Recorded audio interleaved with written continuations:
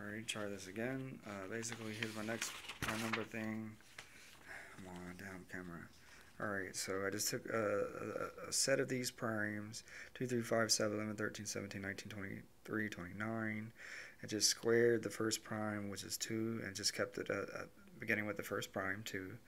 And then it basically was like a hit and miss, and uh, you know, 2 squared is 4 plus then uh, plus 2 is 8. That does not give you prime. If you take or 2 squared, that's 4 plus 3. That's going to give you 7 primes. So basically, it's just a hit and miss of primes. For each one, when I cubed it, uh, plus n equals 5 primes there. And then I, uh, you know, to the third, and when I put that p to the fourth, that's 2 to the fourth, plus n plus the next, you know, uh, uh consecutive prime uh, gave me three primes. So using each number, you know, p uh, to the fourth plus two, uh, and then p to the fourth plus three, and so on until I got until I added to other prime numbers, and I did that three times within that set, going to 29. Even though it has an etc. thing there, but I just stopped at 29. Um, so I just took these prime numbers and added them. Um, so I did this years back, so I'm trying to remember the the thinking behind it. so I uh, added all these basically, and uh, you know, two two to four plus three plus seven, etc. Um, and then it gave me 480, and then I added the next uh, uh, set of primes. Um, of how many primes I had within the thing gave me 198, so I just divided those, and I went ahead and uh, uh, rounded um, down and rounded up um, I'm sorry, rounded up and then rounded down. Um, but I had uh, 479 divided into 199. So that gave me 2.407035176. So I was just kind of experimenting with this thing as I was going along.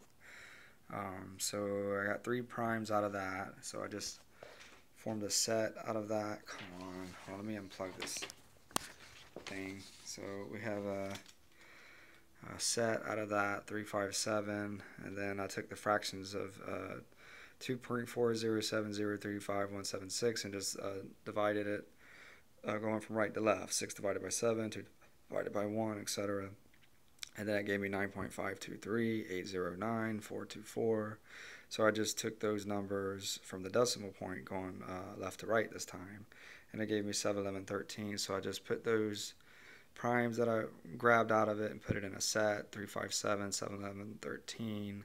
So that gave me 357, 11, 13 primes. So uh, altogether, um, uh, the pri- primes that I had, uh, it was uh, they were uh, 2, 3, 4, 5, 2, 3, 5, 7, 11, 13. That was the, the amount of primes that I grabbed out of that. So I uh, basically rounded down and rounded up because uh, if I would have kept it at 480 divided by 198, it would have just gave me a series of 42, uh, 2.42424242. Um, so it would have gave me a continuous um, uh, thing of that. So, um, uh, so I had something to say about that. Uh, from the largest to smallest, you would continually get prime 2 from smallest to largest. You would get 0.5, which could, without the decimal, give you prime 5. Okay.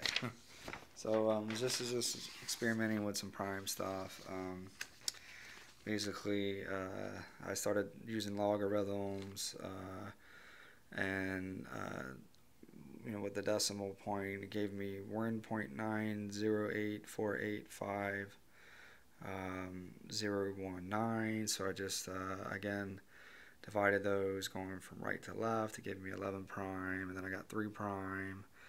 And then uh, uh, I had not quite prime. I had 2.77. That would round up the prime. But um, so I was just kind of, you know, some experimenting with prime numbers. Uh, I'm sorry if this sounds boring. Um, this is some years back, so I don't remember exactly what all I was thinking. I think that was pretty much the idea. Was just trying to grab prime numbers.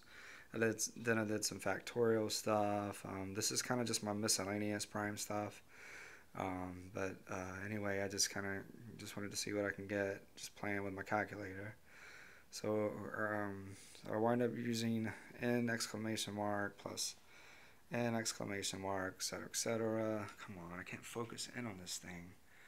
Um, so I just substituted, plugged in the numbers there, and then, you know, 2 factorial plus 3 factorial plus 5 factorial um, uh, plus 3 factorial and uh, all of that. And so it ended up giving me 7, 773 prime, 773. That is a prime number. So I did, also did 2 plus 1 factorial plus 3 plus 1 factorial, da da da da. Uh, plus 5 plus 1 factorial equals 750 plus 1. 751 is a prime. So I also used uh, some sigma stuff. Had, uh, uh, you know, the, the sigma symbol X, looks like an E, symbol X, um, sigma X, and I had, Oh man, it's all blurry. Uh, man, I tell you, this camera thing is not going well for some reason. 2 plus n, um, comma 3 plus n, comma 5 plus n, all in the uh, parentheses. So uh, that up giving me 31 prime, and I did, the next one was uh, ex 5 plus n plus 7 plus n plus 11 plus n all in parentheses um, times 5 plus 7 plus 7 plus 11, plus 11 plus 13, plus 1 gave me 66, plus 1, 67 prime.